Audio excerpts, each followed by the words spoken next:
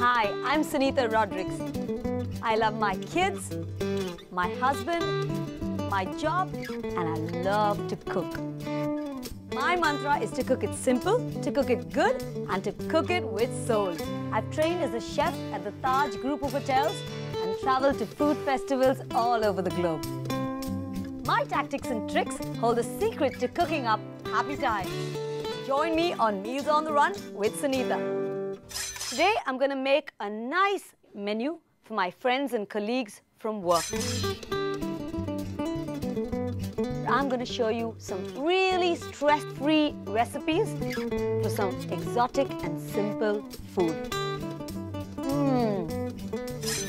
I'm going to start out with a roasted bell pepper and potato soup, followed by a nice yummy roast chicken kafrial with a confetti rice, and of course, to end this meal, a delectable chocolate zuccotto.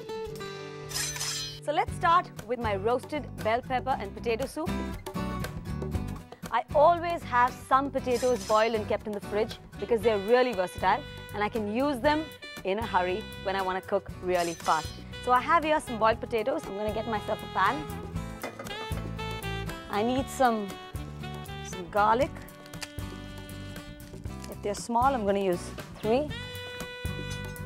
Just quickly put your weight on it, just like that. This is really an amazing soup to make. I've got a little bit of chopped onions. As I always say, butter and potatoes are a match made in heaven. So for this, I'm going to use butter. I'm just going to put in some butter. The garlic goes in. Wait till you get a slight waft of roasted garlic and in go some sliced onions. So sweat these onions just a little bit and as that is sweating, I'm just going to roughly chop this up and in they go. I'm going to put in a little bit of water. I'm going to use the quick fix method of making a stock, which is a nice little stock cube. And I'm just going to leave that to ponder for a while. Now I have here a nice plump red bell pepper. I'm going to use wooden skewers.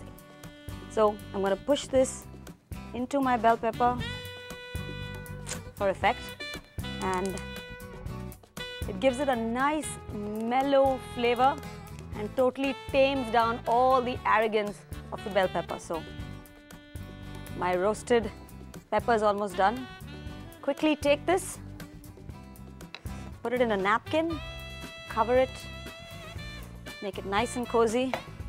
I'm doing this because the bell pepper then sweats and the skin comes out really easily. Let me just check on my soup, bubbling away here. The potatoes, a nice, lovely, strong flavor here of the garlic and the potatoes and the butter all blended well together. I'm now going to very, very easily, and just watch how it's done, use the same napkin to peel away that roasted skin. And of course, I have a lovely, moist, pliant bell pepper with a nice smoky flavor inside. Well, you may be in a hurry, but there are certain things that I would do at least, any which way. So, get rid of all the seeds and just roughly chop that up and toss it in. Well, it's going to give the soup a lovely, rich, reddish orange color. It's done. I don't need to cook it anymore because I started off with boiled potatoes. I'm just going to put this into a blender and mash it all up to make it a nice thick broth. So here we have it. Just to check if it's done. Wow. So I'm to use the same pan and just pour this lovely puree soup into my pan. Now that's already hot, so I'm just to add a little bit of milk into this. Lovely, lovely comfort food here. I have some cream that I'm to add here, about, say, three tablespoons. blob of butter just for effect. And that goes. And you can see the butter melting up and blending with that cream. Pure indulgence. And to finish it off, just a little bit of powdered nutmeg. Now while this is cooking, I'm gonna make myself some nice cheese croutons. So I have two pieces of bread. I'm just gonna put this bread into my grill, which I've already heated up, toasted ever so slightly. I'm not gonna make regular croutons, I'm gonna create a little bit of parmesan on it to give it a special zinc. Let's just plate this soup while we're waiting. The consistency is that it should be able to fall off just like this. And just pour that lovely, lovely pieces of bell peppers inside into my plate. I need just a little bit of cream here to make a little bit of a design. My toast is just about done, so I'm going to get that out of my oven. Nice golden pieces here. And I'm just going to grate a little bit of Parmesan onto this. You can use any other cheese that you have, any processed cheese or a cheddar. Preferably not a mozzarella because it's too stringy. So any hard cheese. Just about a minute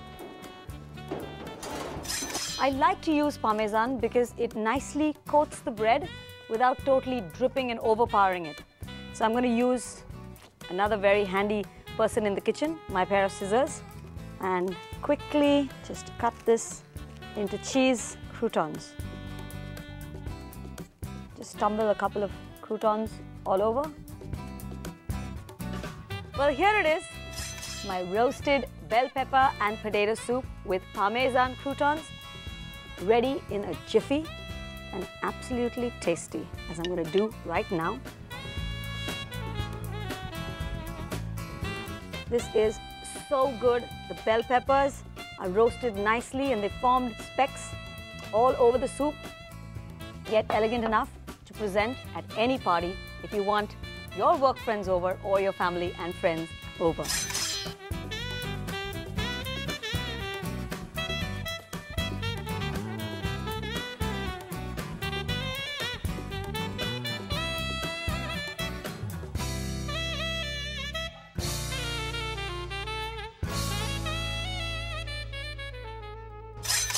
Now it's time to get down to my delectably sinful dessert, my chocolate zuccotto.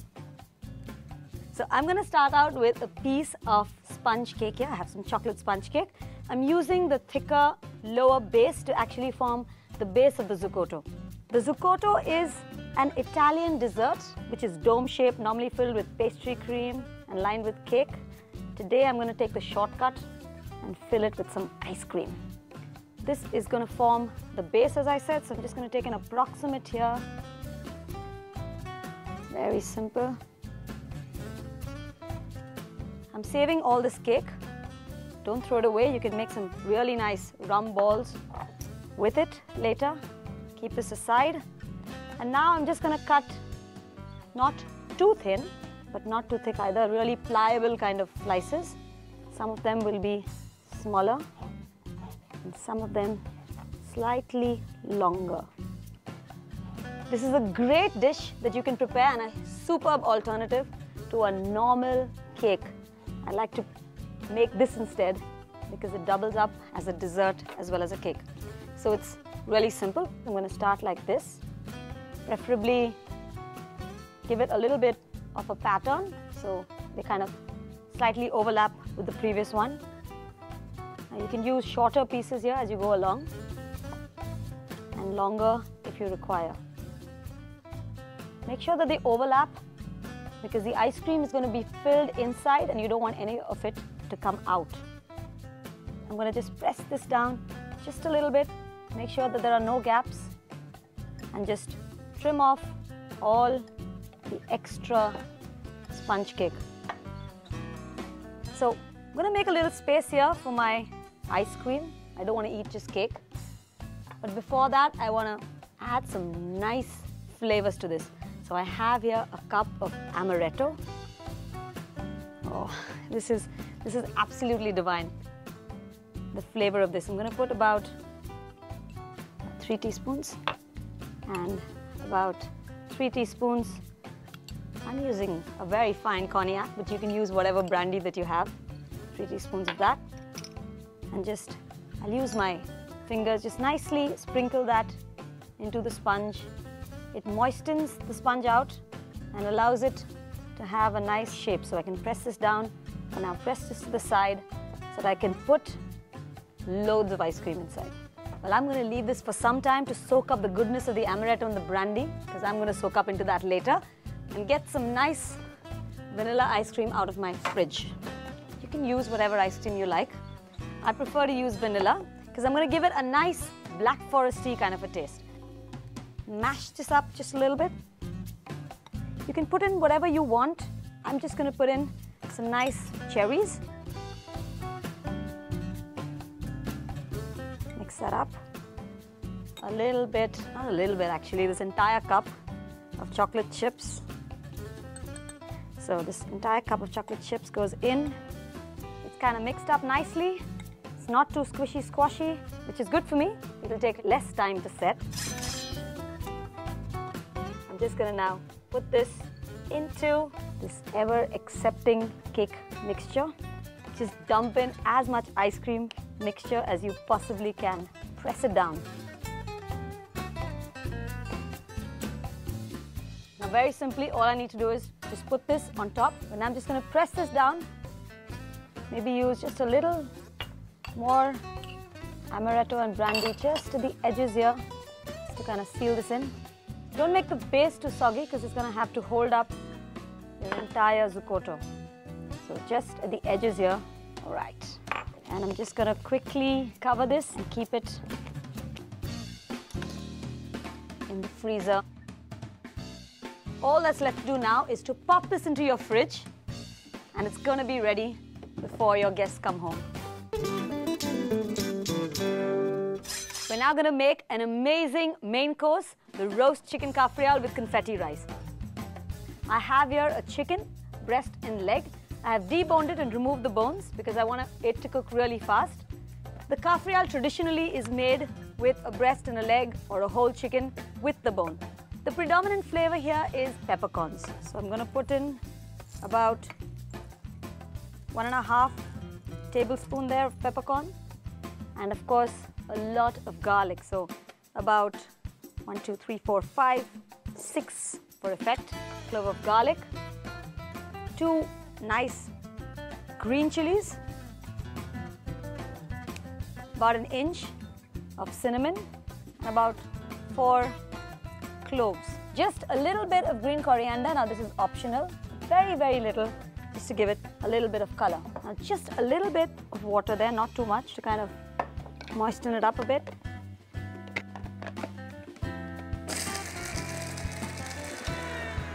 Okay, that's about done. And uh, I like it a little bit crumbly there. Just gonna put that all over my chicken. I'm gonna put just a little bit of ginger garlic paste in this, about a teaspoon. Some salt. Just a teeny bit vegetable oil. If you're going to do this on a barbecue, and it's a great dish to do on a barbecue, then you need to reduce the coriander just a little bit. This, I would recommend you do marinate it and keep it about a day or two in advance because then the flavor really penetrates into the chicken. Another marriage made in heaven is chicken and lime. And especially in the kafrial, we have lots and lots of lime in it. My mouth is watering just thinking about it. Absolutely delightful. So all I need to do is now just poke this with one hand, just one side. Notice I've kept the skin on. For any kind of roast, the reason you keep a skin on is to keep the meat moist inside because otherwise chicken tends to dry out really fast. So I'll leave that for just a little bit to marinate and I'm going to get on with my rice. I'm going to put some water here for boiling And while I leave that to boil, we're going to get down to our chicken. A pan here on the fire, vegetable oil. You got to wait for the oil to get really, really hot. And I can feel the heat right now. So I'm just going to quickly, in that goes. Skin side first. Chicken kafrial normally doesn't have a sauce. So I'm going to put this marinade a little later. Let this get a good brown color. So I've got it nice and brown on one side. Turn it over to the other there. In the meantime, my water's boiling here, so let's just put the rice in. You can make any accompaniment. I'm using rice today. This is almost done. What I'm going to do now is just put this marinade inside. Not going to make it into a sauce. I'm just going to coat this ever so lightly so that I can dip my chicken into that. And the great thing about chicken is that it just does not take time to cook. Well, my rice is done. Now I'm just going to make it into a very welcoming, colorful confetti rice. As you can see, I have some peas here. I have some corn. I've got a red bell pepper, which I'm just going to cut into cubes. And of course, some nice mushroom. We're going to keep them all pretty much the same size. Just very nice bigger bits of green coriander. A little bit of olive oil, again, you can use vegetable oil if you like. Put in your vegetables. You can just toss the whole thing in. And I know that most of you love good food. So if you only knew that such great food required so little effort, I'm sure all of you would be in the kitchen. Just a few peas here. gonna toss that around for a little while. Put just a little bit of salt and of course some crushed pepper. You don't have to fry it too much, just sweat it a little bit. Toss in that rice. Now since it's long grained rice, it's a good idea not to put your spoon in again and again. So if you can, and even if you can't, just give it a try.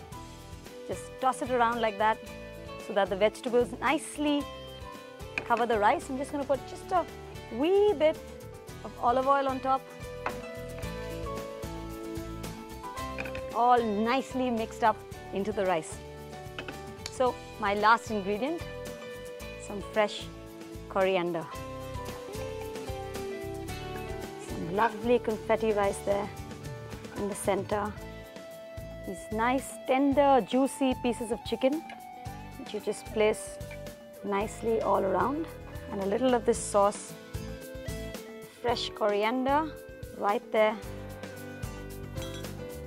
Maybe a wedge of lime at the side would be really, really amazing.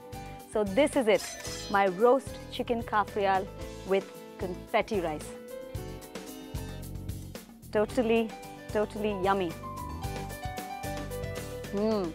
The predominant flavor here is the lime, the green chilies and the peppercorns.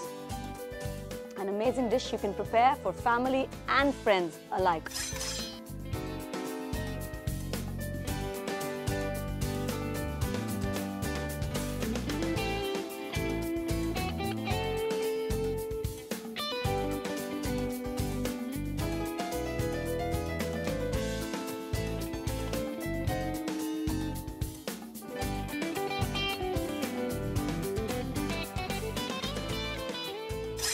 Now all that's left is my sinfully decadent and totally delightful chocolate zuccotto.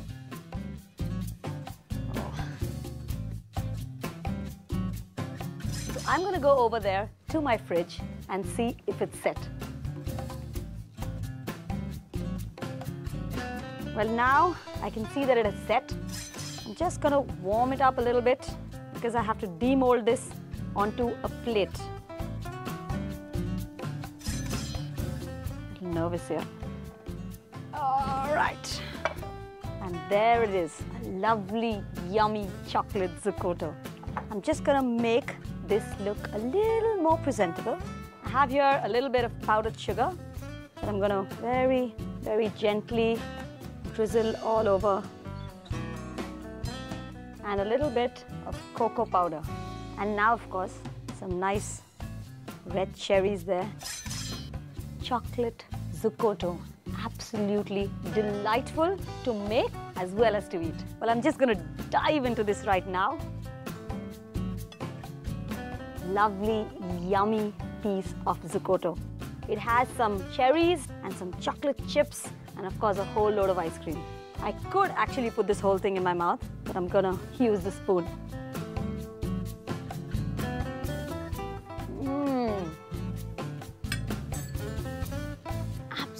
Absolutely delightful. I'm seeing the world move around in slow motion right now.